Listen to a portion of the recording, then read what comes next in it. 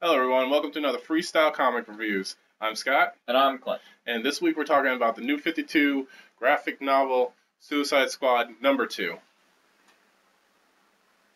That- That's Basilisk Rising, name of the New 52's Suicide Squad Part 2. Written by Adam Glass and art by Fer- Fernando Dagnino. All right, and the plot to this one is pretty much Harley Quinn rejoins the team after uh, super betraying them She's still hot. Yeah, they had to fight some sort of super undying dude in one of the first missions. It was like fighting Jesus. and after that, they pretty much go after uh, the Serpent uh, Society of I kind of don't care about. King Cobra. And, and King Cobra's like henchman Rickus. Ridiculous. We're talking about things that we like in it, and for me, I really like that they were able to work Harley Quinn back into the story, even though it's a little crazy.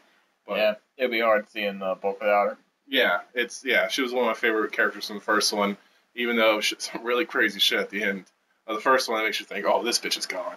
But yeah, they're just like, fuck it, get back on the team. Who cares? Yeah, and then other than that, there was this really cool like, there's a traitor on the team, and it was like, who is it? You're never gonna find out, and you find out, and you're like, what? But it's not that great. Yeah, and for me, I guess uh, you know, of course, the whole team was uh, whenever they were doing stuff, particularly like Deadshot and stuff. Yeah, I really Kate enjoyed Shark, the team. Harley Quinn, all those characters who were uh, fun having on the team and Yeah, stuff they like that. definitely they meld well together. Yeah, and also uh, pretty early on, like one of the first missions they do is fight. Jesus, Yeah, he like can't die, has all these like weird powers and stuff like like that. ridiculous. Yeah, it sounded like he was kind of from another comic. I don't know if I would read that other comic, because it seemed like anything would ever bother him whatsoever. Yeah, they also had like it was kind of like they did like some stupid crossover thing. Yeah, I didn't like, really like it. there was like a bunch of characters I didn't know about. Also trying to capture him on a separate team. Yeah. And this is the part of the review where we talk, talk about things we didn't like. And for me, I didn't really like. I thought the uh, overall bad guy, Regulus, and this Cobra dudes was kind of lame. And I really cared about them or whatever. Yeah, King Cobra wasn't that great. Yeah. He didn't have like a cool look. He kind of was just like, oh, I'm just really big and strong, and I guess mental power kind of stuff. Yeah, he had like illusion shit or something. Yeah, it was like a real forgetful and stuff. Yeah, the fight was only like two pages or something like that. Yeah, and then uh, you know, also I didn't like uh the whole Black Spider being the traitor, and it kind of didn't make sense anyway because like ha- they had the whole team, you know, be sleeper agents, but for some reason Black Spider wasn't. He was like in league with them or whatever. Yeah. For me, I didn't like that they brought Yo-Yo back. Uh, he maybe not dead, but they didn't. I don't feel like they needed. It's like they brought him back for like one page, and it's like, oh, so you're invincible. We were just testing that, and it's like, well, what the? And he's What? all like, "Thank you, oh, thanks for showing me how you know impervious to shit." My face is still fucking Freddy Yeah, Krueger up though. melted. But um, yeah, and that kind of leads me to the next thing where it just kind of flew off the rails. Like they didn't. It seemed like they were just trying to do like a lot of cool stuff, but they didn't know how to fit it all in there.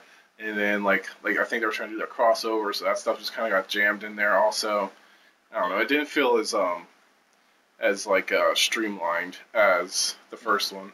Yeah, like I felt like they had a little better idea of uh, where they were going in the first one. As whereas this one kind of you know lost control. That brings us to our favorite moments, and for me, it was just a little moment where they were on a plane, and the plane was crashing, and there was an explosion. El Diablo like absorbed it, and then they were all having to jump out because there wasn't enough parachutes, and Deadshot just runs up and kicks King Shark out the back, and Harley like, I don't know if he's gonna survive that fall, and Deadshot's just like, we're gonna find out. And what would you say? Uh, mine was uh, after the uh, almost everybody but Harley Quinn and Deadshot were taking control and turning to sleeper agents. Deadshot Oh, yeah. just cuts off uh, the ice guy's hand and shit. To try and wake him up, yeah, and snap him out of it. that was pretty funny. Yeah, it's pretty good. Um, other than that, I would say read this book, right? Would you say? Uh, yeah, I guess so. Like, um, I would, well, you hopefully the get better. one, Yeah, then you might enjoy this one. I didn't enjoy it as much though. Yeah, I'd probably say it wasn't as good. But um, I guess other than that, I'm Scott, And I'm Clint. and have a good day.